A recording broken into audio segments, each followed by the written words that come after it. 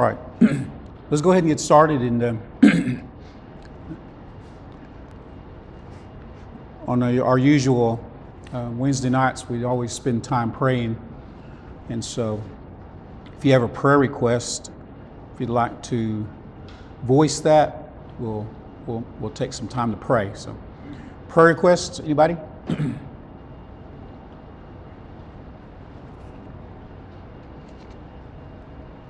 The one I sent out, uh, Mike Junior, the stint business today, unexpectedly.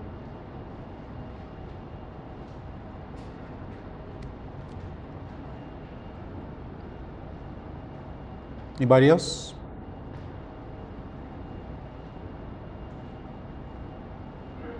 We're making a yearly trip to New Mexico, so just pray for safe travels. Anybody else?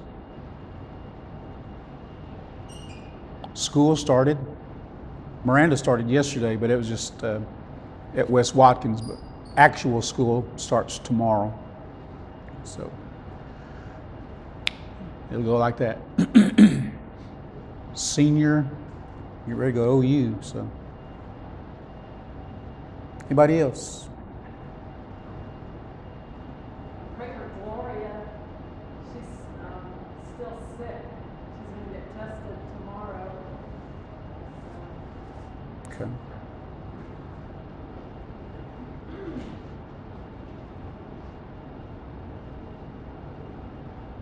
I have a praise report. Um, I just ran, uh, happened to run into a person doing a good deed for us. And I was wondering who it was. So, just blessings on that person.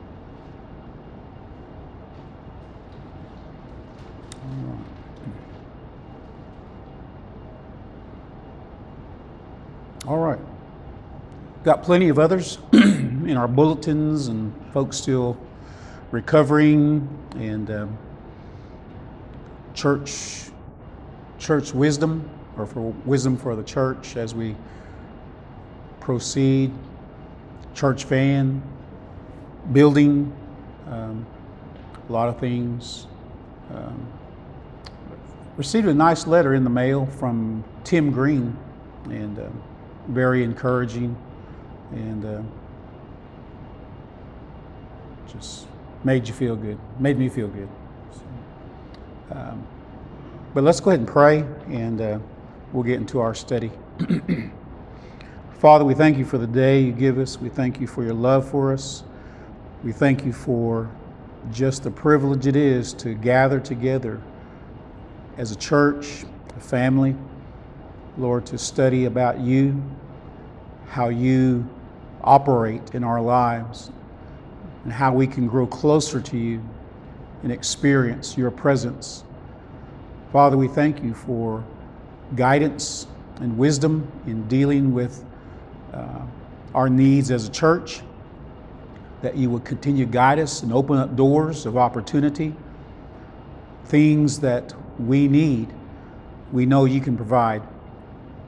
We simply ask that you give us that, give us that utterance, that, that need for the church.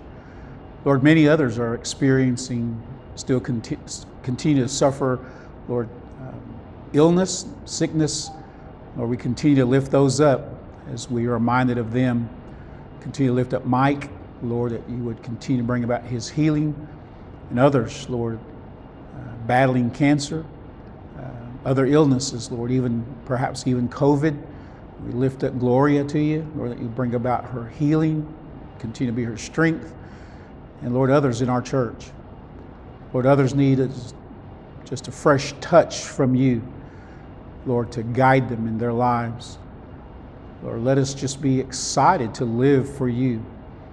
And Lord, I thank you for the praise reports that come through and the encouragement for our church and, and hearing of good things. And Father, we thank you for uh, even last week, a good week at Falls Creek, Lord, that you continue to just grow that fervor for you in serving you. Thank you for loving us as we go into your study. Lord, I pray your guidance and just give us wisdom as we go through this. In Jesus' name, amen. For the past few weeks, uh, we've kind of taken a, uh, a break, but I've tried to do some of the study uh, on Sunday morning. And so uh, we looked at a few things and uh, as far as God's attributes. And uh, if my phone will stay on. um, but some of the things that we mentioned are very vital to what the scriptures say about God. But not only God, but how He relates to us. And that's kind of what the attributes do.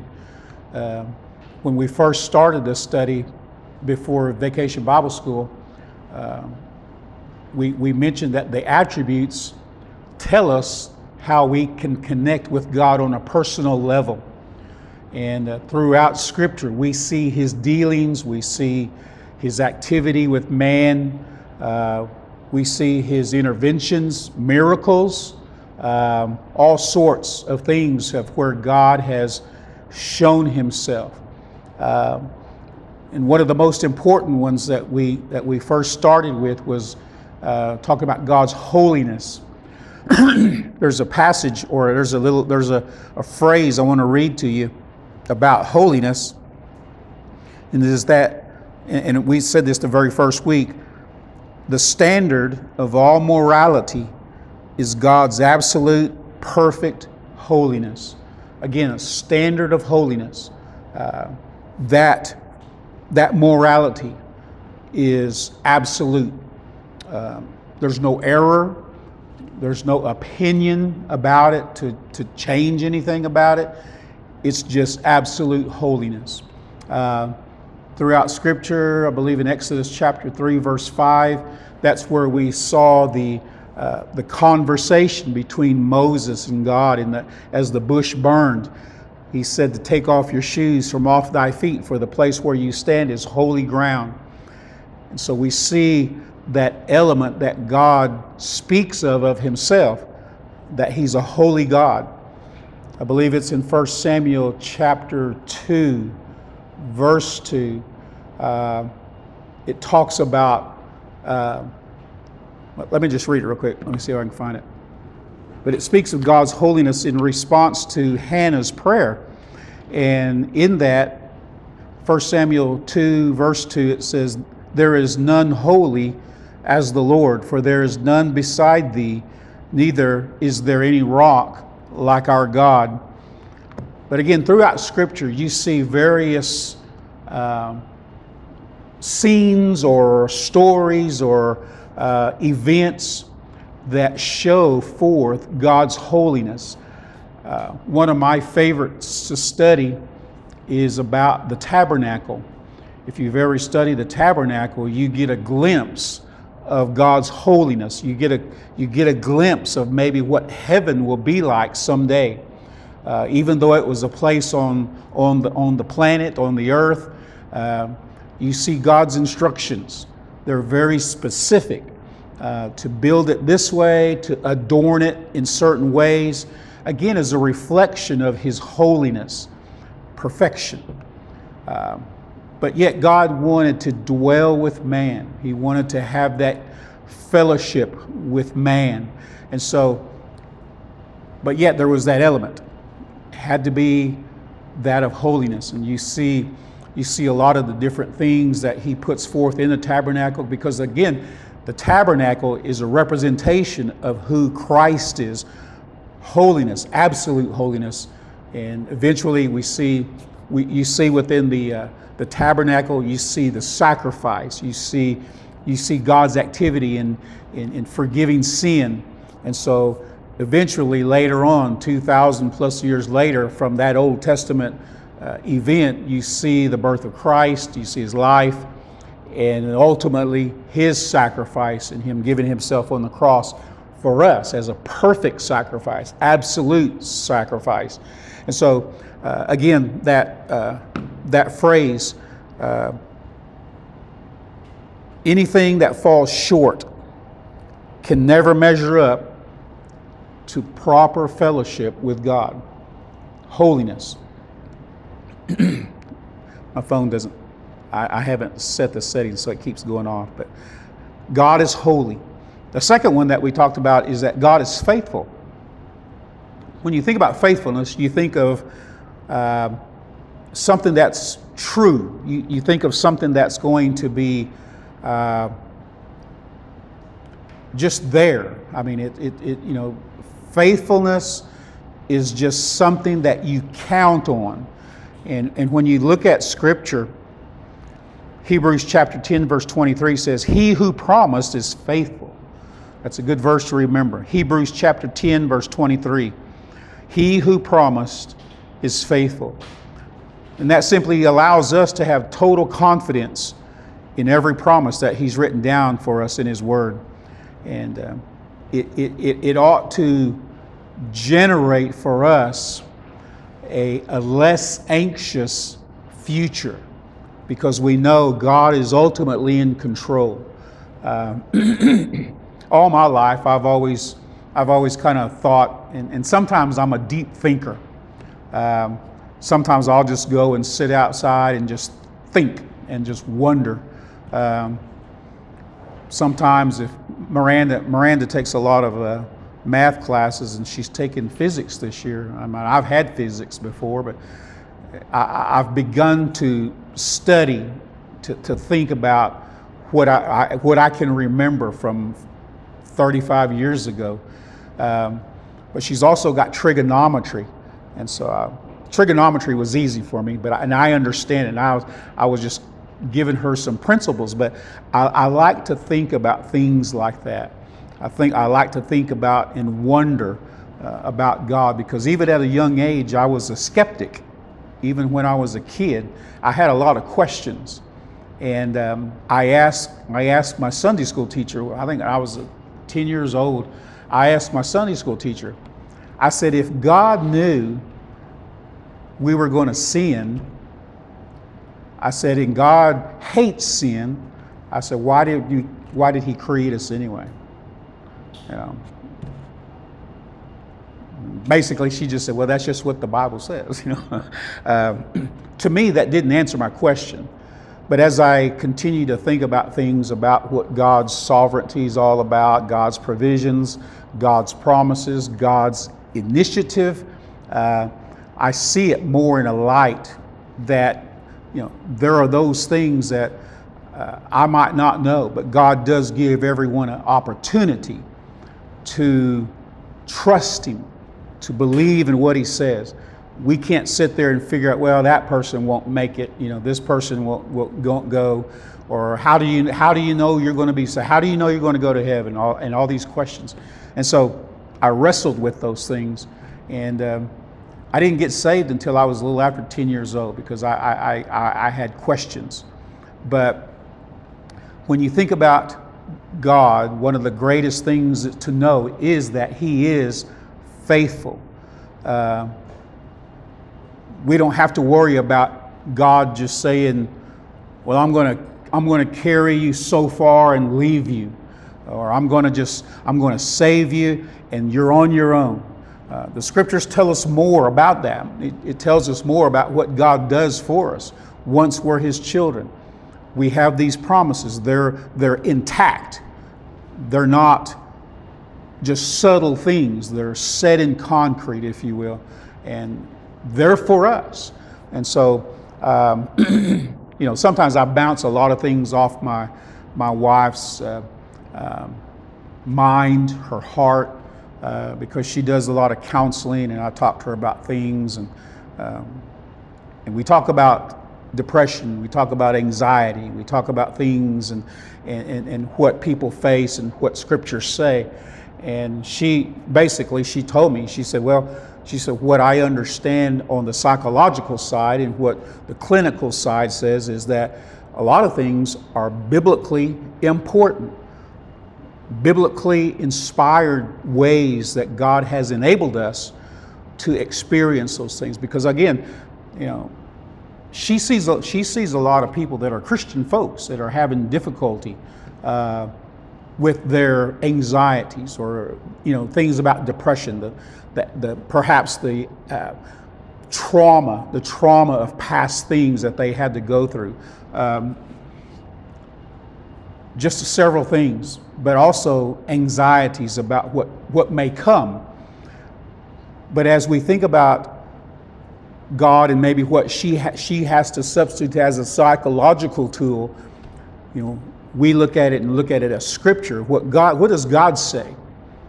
Because He does have a plan for everyone's life, even though as difficult as it may come.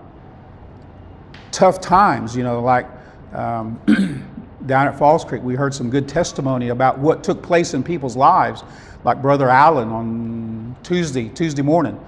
He spoke of his time going to prison and jail. You know, sometimes we think about that as being he's off the grid, but he wasn't off the grid. He was right where God had planned for him to be, to get him to where he wants him to be.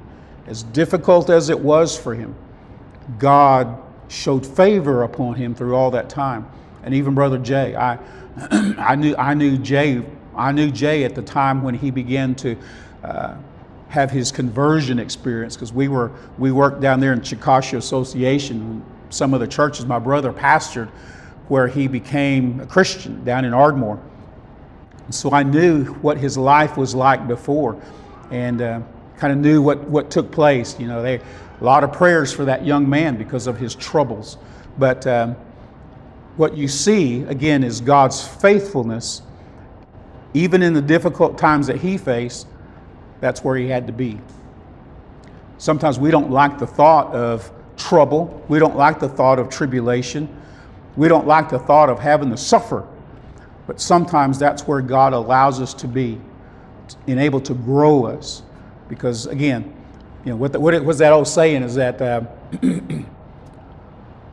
we want to be on the mountaintops. We, we like to be in the heights, uh, the heights of worship or the heights of enjoying life. But all of a sudden, here come, there comes the valley. And it's in the valley where it's, we, we talk about it being difficult. Uh, but they say in the valley, what do they say? That's where the, that's where the grass grows the best, or that's where the grass grows the tallest. Uh, it, it, becomes a growing experience. I read something back, um, it's been a while back, but it was, it was a line, it was a line out of the Ten Commandments. And if you'll remember, if you remember the movie, it was where Moses was banished until the wilderness. It has he, you know, they gave him a they gave him a staff and they sent him, they banished him out to the wilderness, and he started walking away. And in that time to the time where he he he, he went and found himself at, at the well, you know, fighting off that those those those guys and the sheep and all that stuff. The narrator, I can't remember his name, but the narrator was talking and talking about how God shapes a man. I, I, wish I had that with me. I'd read it to you, but because it's it, it, it, it, it inspires me because I've been there. I've experienced some of those. Maybe not the hard times, but you know, I, I, I couldn't relate to those guys, but I can relate to them in knowing that God is always faithful. You know, they, they talk about their alcohol, their drugs, and all that. You know, see, I'm I'm 59 years old and I've never had a taste of alcohol in my life. I've never even smoked a cigarette. You know, I've never drank coffee. Uh, I don't drink tea. You know, things like that. There's some things I've just never do. I never do. Um, but again, God is faithful. Again, He's not going to turn aside. He'll always be there. He'll always know what's going on in our life, as small as it may be, as as, as small and maybe insignificant we may think that we are, God holds us high because we're faithful. He's also, again, that, that verse is Hebrews 10 23. God is omnipotent, and I'm going to try to finish these all here in about 20 minutes. First or Second Peter chapter 1, verse 3, if you got if you can write that one down. Second Peter chapter 1, verse 3 it says, His divine power has given to us all things that pertain to life and godliness through the knowledge of Him who called us by glory and virtue. Notice that verse again. It says, His divine power. Uh, is God limited in His power? He's not, is He? He's not limited. Sometimes the limitation comes from us. We begin to think, well, God can't help me. God's not going to do this for me.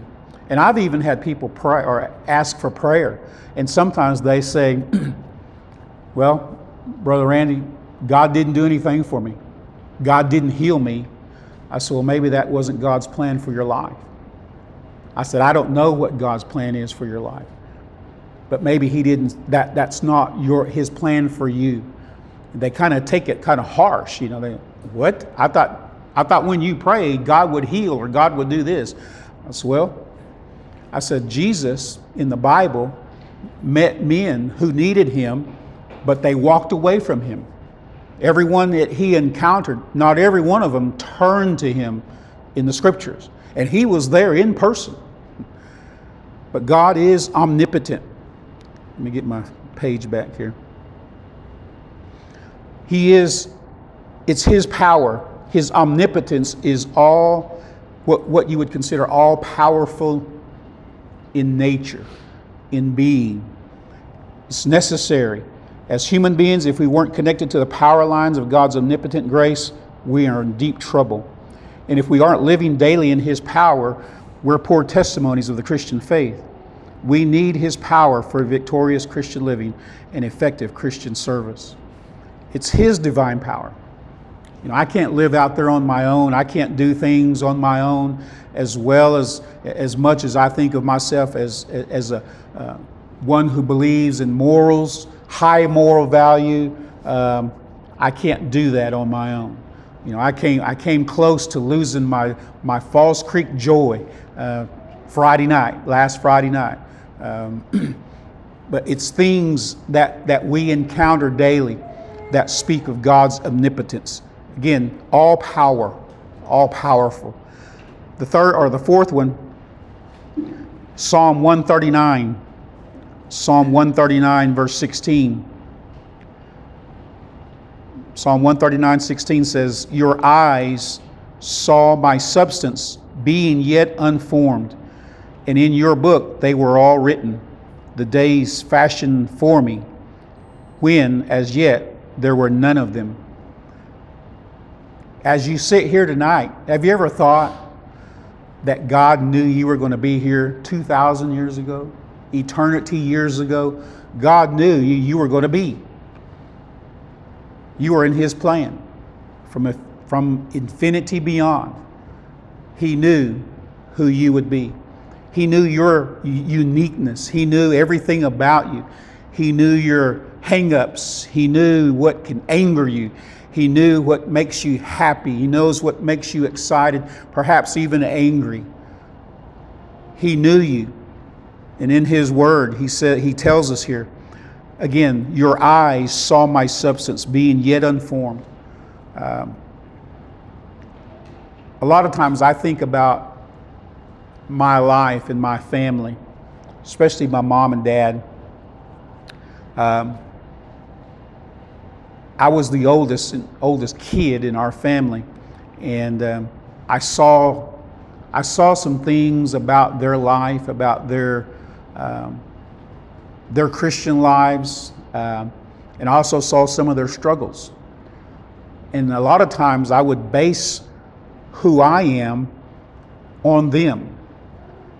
But I also think a part of my life is what God already knew I would be way before I was ever formed in the womb. God knew who I would be. God knew my trials. God would know what, what would cause me tribulation in my life, my weak points. You know, sometimes I, I, I, see, I hear those testimonies like that at Falls Creek, and I'm, and I'm glad I never had to experience that. Um, some people say, "Oh, you're missing out. You're missing out on all the fun." You know, no, no, I'm not. You know, I'm, I'm, I'm happy.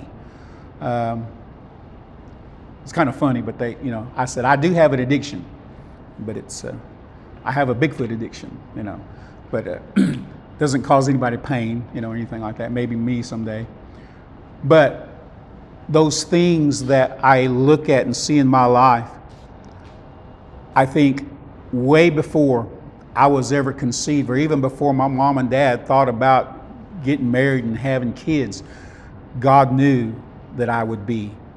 God knew He had a plan for my life, just as He does for you. He has a plan. He wants to execute that plan in your life. Even if it looks cloudy up ahead, unsure, God wants to work a plan through your life.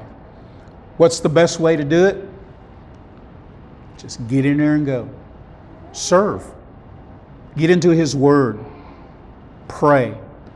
And you might think, well, that, is that all there is? Is that all there is? No. God has plans for your life. The things that that, that, that I see and I look back and how God provided certain things and things to happen uh, is nothing short of a miracle. Uh, the other day we were in Shawnee and we were at Arvest Bank and um, I went inside and I came back out and I saw Mike Wester. You know Mike? Anybody know Mike Wester? I know some of you know Mike Wester. And um, I was talking to him and I said, "Man," I said, I said, I remember when your dad passed away, and we was talking about that, and and, uh, and I said, did you ever know what he did for me? And he said, no, because we had we had a philosophy class with his dad as the instructor at OBU, and um, I told him my story that I didn't have the money to buy books, and he saw me in the library in the reference section uh, the night before class and was asking me what I was doing. And so I told him I didn't have money for books. And so I said, short story, he ended up, Dr. Wester bought my books. Every year I was at OBU, every semester he bought my books for me. He didn't have to. I told him you didn't have to. I, you know, I, I was okay, but he did it anyway. And so, you know, I, I made philosophy a co-major for myself at OBU. Um, it was tough, but in appreciation, he, he did some things. He did some correspondence teaching for me so I could graduate. Um, but uh, I told him that story, and it started making him cry. And he said, I needed to hear that. I said, Yeah, I don't know if you ever knew. He said, No, I didn't. I said, But your dad blessed me. I said, But more than that, God used him to help me. Because I knew when I look back, I, I, I went to OBU just kind of in ignorance. I never even applied to go to OBU. I got a phone call living in Ada, Oklahoma, and said, We'd like to have you come tour our facility and show you. Maybe we can get you into school. Maybe we have time to get you to start this semester. You know, I never applied there. So I went anyway somehow they had my name, they had my information. You know, that, you know, they didn't have the internet stuff today. And I always kind of wonder how in the world did they ever get me in? But I got in, I enrolled, and I was scared because I didn't have. I, I saw people writing checks for six and seven hundred dollars for one for for a quarter of a semester. Dad gave me fifty dollars, and he said that's all I got. When they dropped me off, I had my clothes, gave me $50. And I checked into the dorm. And when I got there, I, I, I was about to walk out because I was next in line and I didn't have the money. So payment was due, at least a quarter. But God was faithful. God was sovereign. And when I was the next in line, this lady comes and said, Oh, there you are. She said, You're hard to find. And so she called me back to her office. I signed a few forms, and most of my semester was paid for. I didn't even apply for scholarships. I got one that was for Christian vocation, uh, other ones I got. When I graduated from OBU, I had $4,000 left over in my account, and it paid, everything was paid for. I only see that as God's provision for where He wanted me to be. To me, that was a miracle. because at one time I was, I was, I was hustling for money because I didn't think I, my last semester when I was a senior at OBU, I didn't have the money. To, I didn't have the money to pay off the last semester. but through some things that happened, I went ahead and they let me enroll. And somewhere, a large amount of money came to my account. It paid off all the fall, it paid off all the spring. Went to school, and I had that $4,000. I don't know where the money came from. I don't know. But I had $4,000 left over at the end of the semester. I bought myself a camera. but uh, again, God does things in our, and, and, again, you might think, man, that, that's a pretty much a big miracle. I wonder why nothing ever happens to me like that. It could, and it probably has. Just recognize it. Think about your life. Take an inventory of what God does because, again, God is faithful. He's omnipotent. He's His power. Uh, if we simply trust it. Um, I know this is going to sound kind of odd. I'm not trying to be materialistic, but my truck, um, my wife kind of gave me the green light. Said, if you want to get you a truck, go ahead and get your truck. Because we had our other car for about seven years, paid off, everything. She said, but if you want to get you a car, or get you a truck, because she said, I know you've been wanting a truck for a long time. Man, I was looking through every, I was looking, I was searching websites for trucks. And the first one, well, there's a guy who works at Joe Cooper, Shawnee. His name's Mo. I don't know if anybody knows Mo. He's from Wetumpka. His wife is from Wetumpka. Anyway, I get a letter from him because we already knew him. And he sends me a letter and he said, You want to upgrade your car? But I read that letter. I said, I don't want, I don't want the same car. And so I, I, I, I emailed him back and I said, Well, I, I'm looking at something different. I don't want that same car. So he sent me a picture. He said, How about a truck? And that picture was my truck. And I thought, Oh man, I'd love to have that truck. Because I, I had been looking at it online, looked at the website, but it was all the way in. Uh, Yukon, I think the Yukon dealership. I saw it, but I didn't want to travel that far to go see it. And so I didn't really worry about it. Three, four months later, it was still there. Three, four months later, still there. And so me and Miranda, she had a track meet at Luther. And uh, it was on a Friday. I said, let's just drive by there. You know, we, we, she was done with the track meet. We was on our way home, so I, I stopped and I saw that truck sitting up there near the front of the store. And I looked through my phone. And I said, That's the same truck I've been looking at. So we got out, and I, I actually got her picture on here on my phone, her standing next to that truck. Just kind of hoping, you know. And so, long story short again, uh, they said, You like that truck? I said, Yeah, I love that truck. So they let me drive it. Uh, Miranda loved it. And I said, but I, I, said something like this. I said, we always talk about this with my, with my family, my, my wife. So she went and looked at it, and um, they said it would be this amount of money every month. And so it was a little too much.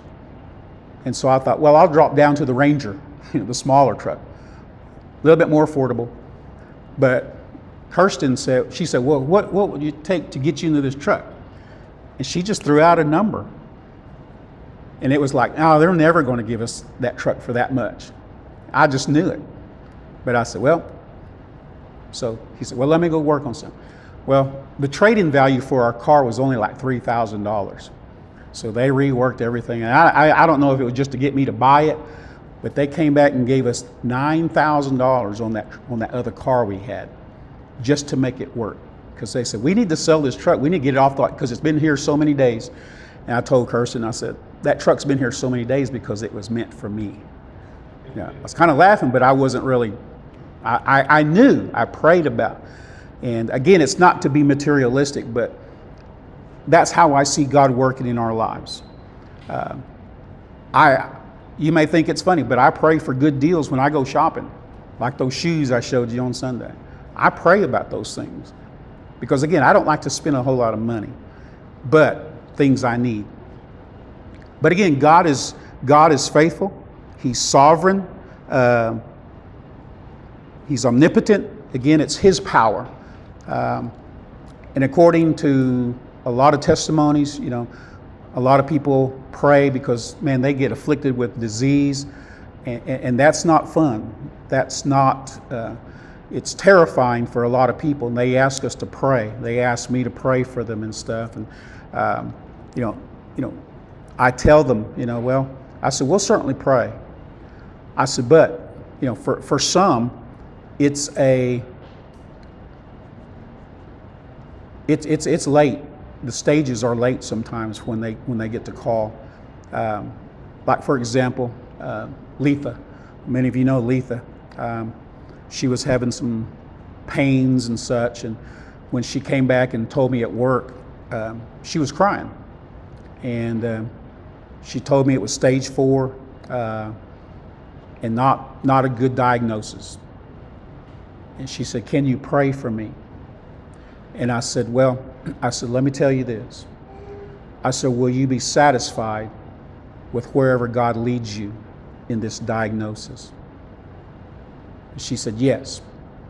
And I said, so I, want to, I don't want to sound negative, but if this is what brings you to life's end, are you okay with that? And she sat there for a while. She said, Yes because then she started talking about her life, different things happening, grandchildren, everything. And I said, Well, I said, let's pray. I said, God will either heal you, or this may be another way that our life can end. I said, I'm not going to lie to you. I said, My sister had colon cancer. And I said, We prayed for her. I said, day and night. I said, but she still passed away. I said, God can do the miraculous. He can certainly heal. But sometimes that's just in God's plan because eventually we're all going to die of something. You know, we're just human, we're just physical beings. We're going to die someday. That healing will only be temporary. But nevertheless, we'll pray because again, God is powerful, God is omnipotent. And so we prayed she's doing better.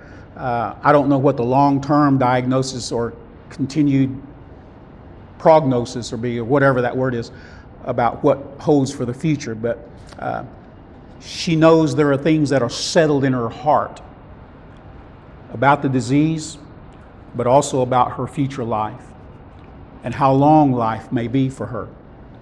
And so I had that same conversation with my sister. Um, and we talked about things of that nature. But again, God is powerful, but He's also eternal. Psalm 139, or again, He says, Your eyes saw my substance, being yet informed. God lives outside of time, and yet He controls it. Again, sometimes I, I go outside and I just look at, you know, for one thing, I got to walk, I got to take the dog out, and it's dark where we live. And sometimes I just look in the heavens while he's doing his business and you know, I think about how, how distant those stars are. I think about eternity. I think about the magnitude of space.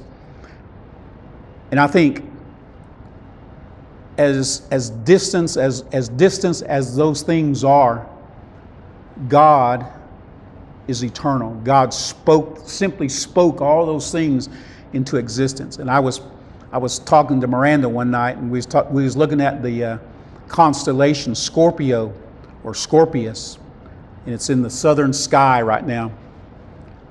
We talked about a certain planet, or actually a star, I'm sorry, and how huge that star is, but yet it's so far away, it's like just a little speck in the sky, you know, almost a thousand light years away. But it's so huge if that star was where our sun is, that outside of that star would reach out to the, to, to the planet Mars. That's how big that star is. And yet our, our, our sun is 93 million miles away. That's how huge that is. But even in that, God provided that to mirror His sovereignty, to mirror who He is, to show forth His glory in the heavens. The third one, or the next one, sorry, in Psalms 102, Psalm 102, verse 25 and 22nd, 27. It says, Of old you laid the foundation of the earth, and the heavens are the work of your hands. They will perish, but you will endure. Yes, they will all grow old like a garment, but you are the same, and your years have no end. This is that one word that we had talked about, about Googling it or looking it up for side study, and that word is immuta- immutability, that God is changeless. Um, God is still holy. The standard is still there, it's unchanged.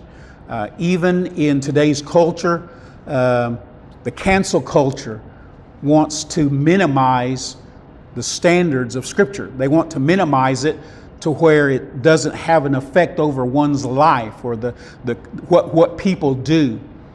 So that cancel culture wants to, wants, to, wants to take that part out.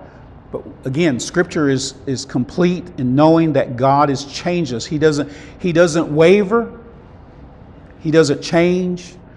He doesn't change His mind, His heart about how or what righteousness is, how it's defined. It's still going to be the same. And it's in standard with His attributes, His holiness, His power, His sovereignty, all these things, that immutability, changelessness.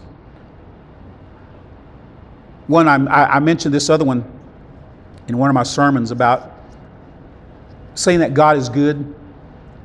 You know, sometimes you hear that little phrase, God is good, and some will reply that He's good all the time, uh, and all the time, God is good. Um, there's an actual good study about the goodness of God. Um, scripture refers to when the rich young ruler um, was confronted by Jesus and he had all the wealth and he had a lot of stuff going for him, but yet he turned his back. He said that he was a follower of the Old Testament scriptures. He was a follower of the Ten Commandments, which actually, there was, I think, just seven of them, or six or seven, that he actually said he was faithful to. But Jesus pointed out some things in his life, but yet he walked away sorrowful.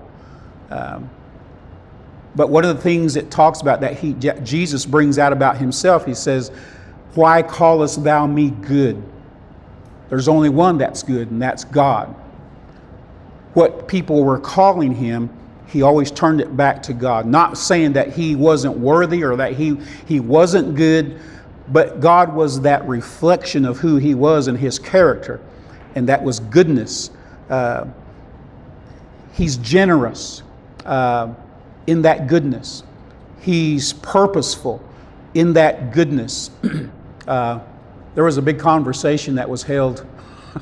it's about a song, uh, one of the popular Christian songs of today.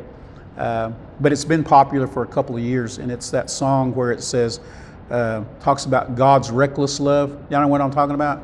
I don't know the name of the song, but uh, it says that God, God's reckless love, and I, again, I don't know but there was a conversation about that word. And somebody, one of the, one of the preachers, popular preachers out there today, asked me. We kind of we have like a side chat here and there. They said, "Randy, is God's reckless? Is God's love reckless in uh, pursuing us?" I said, personally, to me, God's love is purposeful, not reckless. You know what we what we think of reckless. You know, uh, maybe, maybe, maybe what the art, artist's words were were maybe, maybe different than what we think about being reckless. I said, but if you look at it just at face value, God is purposeful in His love. God is has something in mind, and it's not just reckless, you know, just reckless. But again, those are some of the kind of the theological questions that we talk about. Uh, Psalm 145 says, I will meditate on the glorious splendor of your majesty and on your wondrous works. Men shall speak of the might of your awesome acts, and I will declare your greatness. They shall utter the memory of your great good, your great goodness, and shall, shall sing of your righteousness. Again, everything that God is, all that God is, with all these attributes, if you'll think about that scripture where it says, For all have sinned and fallen short of the glory of God. The glory of God. You know, some people that they say, well, what does that mean, the glory of God? Again, when you take in the whole of all of those attributes, put them together, and try to fashion it, mold it into ways that we can identify and how Scripture and what Scripture tells us about those things, that's what you may consider the glory of God. Because again, it's ultimate, it's supreme, no error, faithful, forever, eternal, immutable, unchanging. That's the glory of God. So that verse that comes up, all have sinned and fallen short of the glory of God. Well, what does that mean? Now, I have, I've, had, I've heard a lot of people say it's like a target, but that's the description of sin. But again, the glory of God is all that God is. Uh, next one, omniscient. uh, Psalm 147, verse 5 Great is our Lord and mighty in power, his understanding is infinite. Um, omniscience simply means that all knowing, uh, all knowing, know everything. Um, I like to study. Um, I like studied scripture. I also like studying things, you know. Um, sometimes my wife asks me, "What are you studying?" or "What are you looking at?" Uh, so I'm, you know, it's like a classroom on on YouTube. They said, "What are they doing?" I said, "Math problems." And so I, I watch YouTube videos of how how to do a calculus problem, or how to do a trigonometry problem. And so I'll sit there and I'll just watch it. And to you know, to me, and it's probably the most boringest thing that my wife could ever, you know, she just walks away. But I enjoy that. I like to watch the classroom instructor. How do you solve this problem? How do you how do you work this problem? Or or you know what you know. But that to me to me that's interesting. Because um, when in our in our in our bedroom there's the Golden Girls or there's the Gilmore Girls, you know, those shows. I have to force myself to watch those. Okay, I just I just can't get into them. But uh, my wife loves those shows. But in the same way, we have things that interest us. But here, the scriptures tell us that God is all knowing. God knows all those things. And I'm glad she knows because she thinks my, you know, the videos that come up on my YouTube thing, you know, it's, it's either math problems or Bigfoot. You know, that, that's what I watch. Interests me. She knows that. But there's also those things in our life with God being omniscient. He knows all things.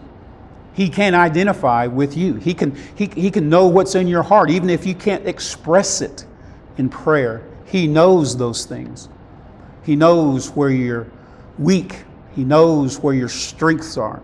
He knows where the weaknesses lie. But He knows. But He also knows that when we, when we fail, He knows that He'll be there to lift us up. Omniscient. the last two. Uh,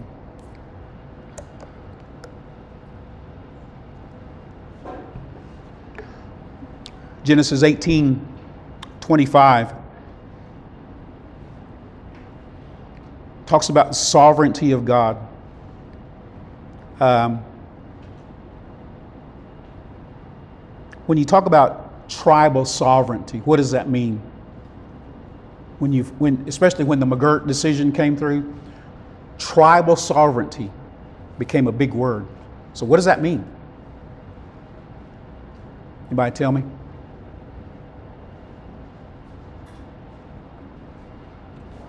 He was in a law class. Brianna, what's sovereignty mean?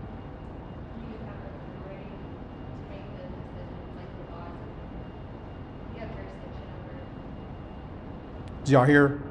I couldn't hear that, that fans in my ear, but sovereignty, again, I know what I couldn't hear what she said, but I'm sure you heard it. but in in just a small box sovereignty means the tribe is in control of its own affairs and with through it the interpretation of its laws, governing itself. Um, God is sovereign because again, He's over everything. Everything. Think about that.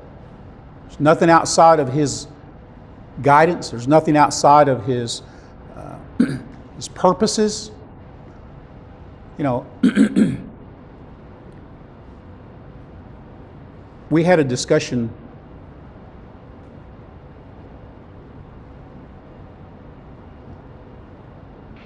I don't have time. Take another hour. But we have discussions about different things about creation, uh, how God did things. Why did God do this? You know, why did God create that mountain over there? Why did God create this river over here? Why did God create the? Why did? Why, why is the Grand Canyon there? And all these other things. You know, um, God is sovereign. I, I, don't know the. I don't know the answers. Um, there was one time we went. We went on a church mission trip at, from First Baptist in Okemah, we went to Chinle, Arizona. And we took mostly native folks or members from our church and went to Chin Chinle. And um, one day after our VBS and such, uh, we went to the uh, Canyon de Chelly. I think that's how you pronounce it. We went down to that canyon, and you, there's one part you can walk, take a trail you walk down, and it, the elevation is really high. It's like 7,000 feet in elevation. But you walk down into that canyon. it's about two miles down in there, but it's you know it's very steep. The the air's thin. But you get down to the place, and there's the walls of those canyons have dwellings, ancient dwellings. And uh, me and the pastor and a couple of other guys, we were just sitting there talking, and, and they said, why do you think those people lived in those caves way up there? They start talking about different things, you know, and primitive things. And, and um, I said, uh, they wanted to keep out of the reach of the dinosaurs. And they looked at me like, I never thought about that. Because they used to find a lot of the fossil beds at the base of those cliffs. They said, "How did what about what about those?" And I said, "They they probably made them. They probably made those dinosaurs chase them to make those dinosaurs fall off the edge and die and eat them." To me, it it it it, it was like common sense because I, I I threw that out there. And then the the Grand Canyon guy, the guide that was walking around, I said, I asked him a question. I said, "Did uh, I said, Did that river form the Grand Canyon? Or did the Grand Canyon form the river? And he said, I never thought about that.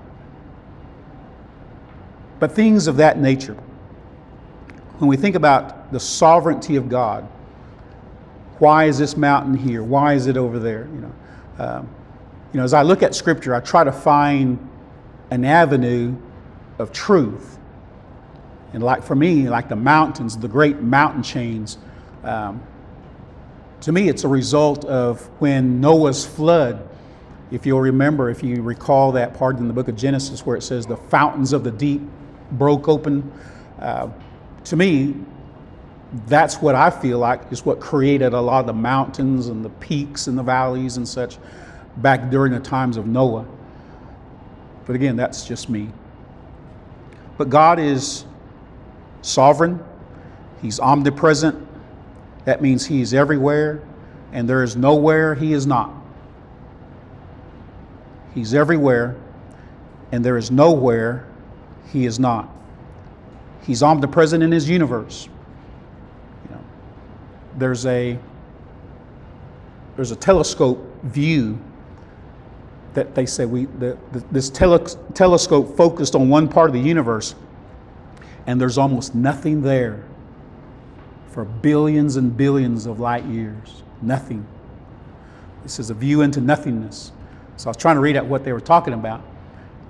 They said, of all the expanse of the universe, there's nothing hardly there. But yet, again, according to what Scripture says, God is omnipresent. He's everywhere, even where there's nothing.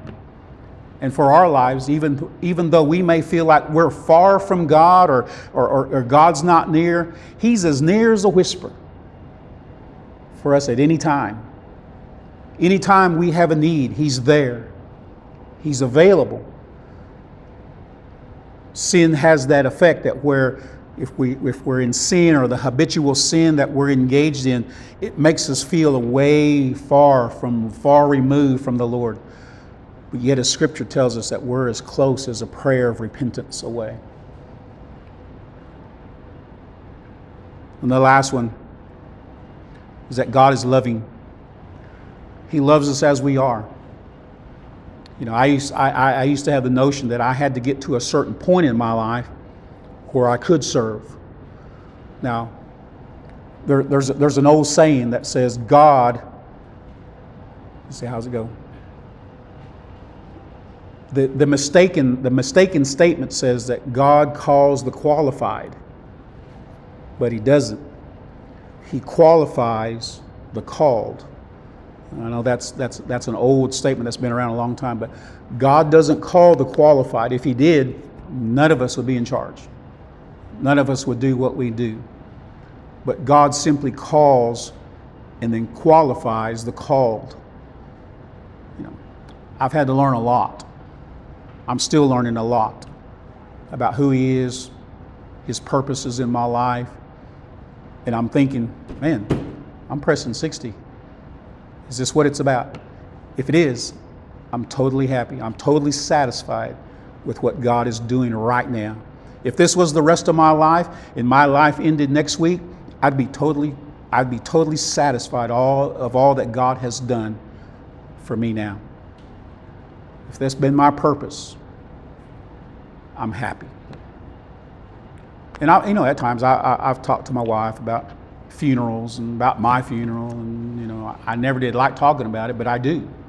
You know, what would I do? Where would I where would I want to be buried? You know, and um, coffin color, you know, just different stuff. Because I know that I would like to live maybe as long as my dad. Hopefully, I got his genes. You know, he he lived to well, he was almost his mid 80s. Um, but if not, it's okay. Um, Mom died. She was only 66 when my mom died.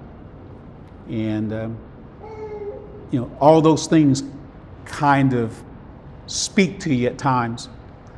But again, I, have seen and experienced enough of God's plan to know that whatever avails is okay with me. Um, I've done some things in my life to prepare my daughters uh, financially. Um, they're set if anything was to happen to me. But again, God's attributes, these things, and there's, there's, there's more. But again, the attributes are there to tell us how we can identify with the Savior, how to live expectantly instead of anxiously, how to live victorious instead of in defeat. Those attributes draw us, should draw us closer to Him and His presence. Again, my wife, she calls me the ultimate bargain shopper, because? I can find a bargain, know. But I do those things because that's, again, that's, that's, that's what I just enjoy doing. But I love what God has done in my life and everything I, I, I look at, even from as a child, things happened in my life to bring me up to today's chapter, the continuation of the book of Acts for my life. Acts, the book of Acts, when you read the book of Acts in the Bible, it's an, it's an open book. It has never ended, it's never closed. The Acts continue in today's church, and that's what we're all about. So let us strive. Let us, let us continue to strive to know God and who He is. when we understand, have a better understanding of that, we can stand toe to toe with the doubters. We can stand toe to toe with those who preach the false gospel. We can stand toe to toe and not be afraid to say, This is what, who God is. Even the atheist, this is who God is. So let's pray and let these things become more real to us as we continue. Because the next one that we're going to look at is Scripture. The next big section that we'll look at is Scripture, and then we'll look at the person of Jesus Christ. Okay? So let's pray. Lord, we thank you for the day you give us. We thank you for your love. We thank you for how you reveal yourself to us, how you show us your love, that it's eternal, your goodness towards us is, is, is never ending. Lord, your sovereignty is ever present, all power, all knowing. And yet you love us as you would love a child, as we would love a newborn. You love us. All you desire is for us to love you and to worship you. Thank you for what you do. Thank you for our church. Thank you for growing and empowering us to do your work. Thank you again for all you do. In Jesus' holy name we pray. Amen.